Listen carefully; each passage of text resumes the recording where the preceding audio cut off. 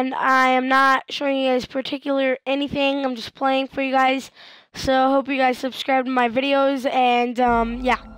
This is uh, one of my newest, latest videos. Um, I just made one on two or three minutes ago. It was like top three awesome things to do in Call of Duty Black Ops 2 multiplayer.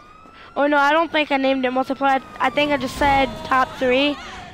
But um, I'm basically about to go uh, kill this person right in the red car for this cop.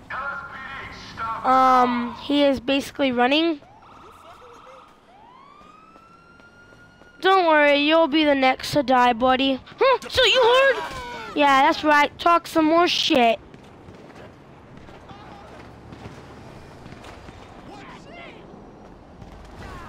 See, that's what you get for talking shit, guys. One day someone's gonna come up and beat the crap out of you. They're just gonna simply punch you. And you're gonna be knocked on the ground for talking shit. Like, watch this. Like, watch this. Watch. Okay then, badass. Huh?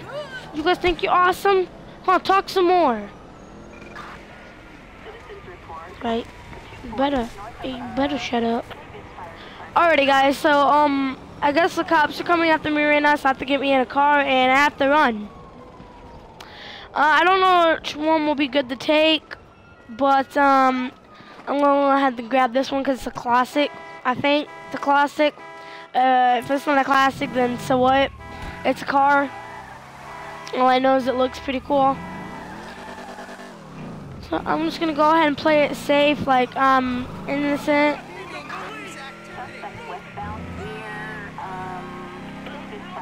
Okay, so guys they're onto me right now anyways, so it's not really gonna matter.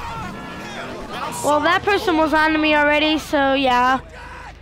Um, yeah, let's see something. I'll see something at first anyways. Hey! Oh, motherfucker! Alright guys, thank you for watching this little short clip of this vid, and I'll see you guys tomorrow.